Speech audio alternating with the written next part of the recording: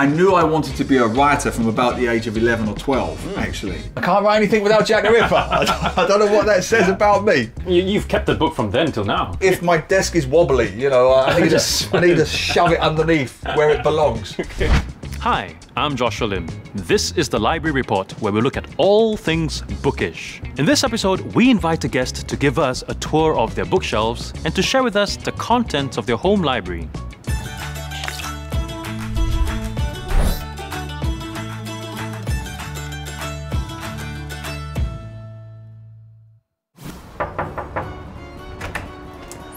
Hello, Mr. Neil Humphreys. Joshua, how you doing, my friend? Good, thank Come- you. Come in. Wow.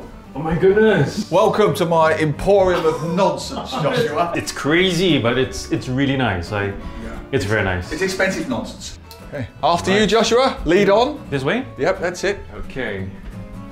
Into my massive apartment. Over here? Yep, in here. My A Millennium This is this is where the genius happens. This is where I write all my books. So these are my books, some of my books, some of my wife's. I must tell you, the Jodie Picoults are my wife's. There's nothing wrong with Jodie Picoult, but I'm just qualifying that. Okay. Um, could you, do you have anything from like from pre-Singapore days when you were still um, in, in the UK, in East London, before you came over? When I was coming to Singapore, when I knew I was going to come to Singapore, I pulled out my own A-level study book. This is 19th century Britain, 1815, 1914. So it's the time of the white man taking over the world at gunpoint. So I studied history at A level and at university. Hmm. When I tell Singaporeans I knew two things about Singapore before I arrived I knew the Singapore sling and I knew Raffles Hotel a bit. I'd heard of it, that's it. They, they think I'm lying. And I'll show you the proof. So, this is a book of 100 years of British colonial history, right? Let me show you. We'll go to S. One reference. And it doesn't get the whole page, Josh. Let's not get carried away. It gets half of a single paragraph. Your country, my country now, got half a paragraph in an entire book of British Empire's history, 100 years. That's why I knew nothing about Singapore when I first arrived. Despite having a first class history degree, I knew nothing. So I figure, okay, when I knew I was coming to Singapore, I did what every traveller did in the 90s. I bought one of these rough guides. Now, as you can see, Singapore didn't even get its own book. It got half a paragraph in the history book, and in the travel book, it gets a section. Singapore was nothing like the Singapore depicted in this book. Mm. Nothing at all. You, you've kept the book from then till now. Purely for sentimental reasons, or if my desk is wobbly, you know, I need, Just- to, I need to shove it underneath where it belongs. Did you even intend to write a book in the first place? No, No, you're just writing for, for the fun of it, for Well, it was because I, I would acquire these stories. Things would happen to me. Like my very first night in Singapore, the friend I was staying with said, opposite is a hawker centre. He explained what a hawker centre was. It's on the void deck, it's underneath the HDB block, tables, chairs, and so on. So at 2, 3 o'clock in the morning, jet lagged, my first night, I go across to this hawker centre, but I go the wrong way. oh. But on this void deck, I still see tables, chairs, people eating. I remember So, the story. I sit I down. remember the story. I help myself to a few snacks. Okay. I see people looking at me like they want to kill me. And then, of course, finally, I see this poor person lying in a coffin at the far end of the void deck. I remember this story. Eventually, I realized it was a void deck funeral. Yeah. So I would accumulate stories like this, these cultural clashes between East and West, you mm. know. And I would finally, I thought I had enough for a book. And I would tell Singaporeans that story and other stories, and they'd find it funny. So eventually, I bit the bullet, put them all together, sent them off to a publisher, and they said yes. All right. Hmm. This writing thing just came about quite organically. Yes and no. I'm being slightly disingenuous when I say that because I had no idea of what I wanted to do in terms of career, hmm. but I knew I wanted to be a writer from about the age of 11 or 12, hmm. actually, because um, the books I was reading then as a kid. There was one particular author called Sue Townsend who I absolutely adore and is still a popular book to this day in Singapore across all libraries, right? So this is in many ways my literary bible, right? This was my favourite author growing up, Sue Townsend. This is one in the Adrian Mole diary series. Without her, I probably wouldn't be a writer. I think that's fair to say. Mm-hmm. I read The Secret Diary of Adrian Mole, aged 13 and three quarters, when I was about that age, 12 or 13. And it changed my life, Joshua, because it was a book that was really about some dark issues social commentary, divorce, being from a poor background, things that I could relate to on a personal level. But it was the funniest book I'd ever read in my entire life. I mean, laugh out loud, weepy eyed funny, right? And then I had this eureka moment almost as a kid. I made this connection that this book is written in the first person as a diary of a 13 year old boy going through puberty. And then I find out the book was written by a middle aged woman. it, it, it almost set off this light bulb in my head. Oh, that's how it works. you know, you use your imagination and then you can take on any persona you like within reason. So I would try, even at an early age, to try to write uh, humorously, and that's when it started. And it all started with Sue Townsend. Right, Sue Townsend. We're going to thank her for that. So I thought, I want to take my style of writing, humorous social commentary that I developed through uh, Sue Townsend, and then I came across this book. I'm gonna have to stretch for this. Whoa. Only your turn. on Oh, the classic. Wow. Here we go.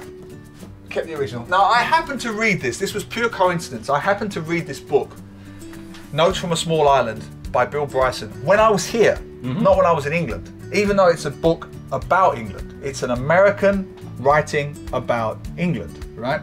That kind of outsider with an insider's perspective. Mm-hmm. So I thought, I could do that. I could take my humour, my social commentary, and what an American did about Britain, maybe a young Englishman can do about Singapore. Comparing two different lifestyles, two different cultures, working class England with heartland Singapore. And so, having read that book in Singapore, I was inspired to write This book. that one. Ta-da. I even ripped off the title. and then I moved into middle grade uh, books, fiction, about this secret undercover princess who has to leave her war torn country to escape the civil war. And she ends up in a really rundown, working class, heartland primary school, and she has to adapt. But she can't tell anybody that she's royalty, but at the same time, because she's royalty, she has these taekwondo, aikido, fencing skills that help her. So it's, it, it's a good way for me to talk about issues that are important to me, which is anti-bullying, mm-hmm. which is the rich-poor divide, and how both sides have to try to accommodate each other. So I talk about these really gritty social issues in a humorous way in these books.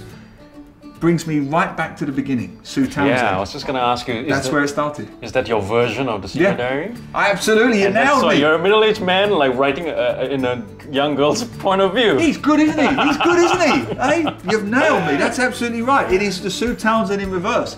Now, I'm a middle-aged man writing as a 11, 12 year old girl in the first person, talking about social issues, bullying, uh, parental separation, some really serious stuff that all kids, all kids from any background can identify with, but in hopefully a really humorous and quirky way. We've come full circle, Josh. We have come full circle. So Neil, it's it's been ten years Hmm. since you've been back from Australia. What has been happening since? Well, I've been very fortunate. I've been a full time writer for the most part, writing books, newspapers, magazines, and so on, but mostly books. And I wrote about returning to Singapore and how Singapore had changed. And then I started writing novels, uh, crime thrillers that were set in Singapore about a Singaporean Chinese detective called uh, Inspector Stanley Low which I'm proud to say are now being uh, published all over the world. So I've taken my Singaporean Chinese detective from Toa Payoh to across the world. My crime fiction here. Which you wrote three, right? You, you had also three novels. I, I do, yes, I did, yes. Some of the Uh, my latest one is over there. Uh, Bloody Foreigners, that takes my Singaporean detective to London. he is a uh, Singaporean inspector, right? You have to write in his language. I mean, I, I know you've been in Singapore for, for 25 years already, minus the five years in Australia. But how do you get his language? How do you know that he's speaking authentic Singlish? It's a great question. Well, as you say, partly it's assimilation, I've been here for so long. But secondly, I'd be lost without this beauty. the Coxford Singlish Dictionary. So I write over here. Uh huh. All my books have been written here. All right. And uh, I'm very superstitious. If you want me to show you this, you see this? See this here? This is a beer mat, right? Okay. A Jack the Ripper beer mat. Okay. Now, I'm not sadistic, but Jack the Ripper is from East London, or was from East London, like I am.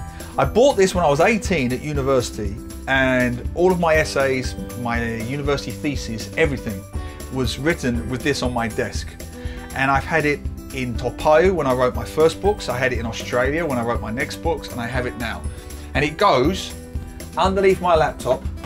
so every single book I have ever written, Joshua, all 25 books, has had Jack the Ripper, a Jack the Ripper beer mat under them. So you can't write anything without it underneath. I can't write anything without Jack the Ripper. I don't- know what that says about me, but there you go. Neil, thank you so much for sharing all of that with me. Um, I feel like I've gotten a very nice glimpse into your life from when you were young all the way till now. Um, can I take a shelfie together with you and Sure. grab some books? Yeah. Take my phone. Okay, here we go. Just this. One, two, three. Thank you so much for watching this episode of the Library Report. Do leave a like and a comment below to share your thoughts with us. If you liked what you saw, please subscribe and we'll see you in the next one.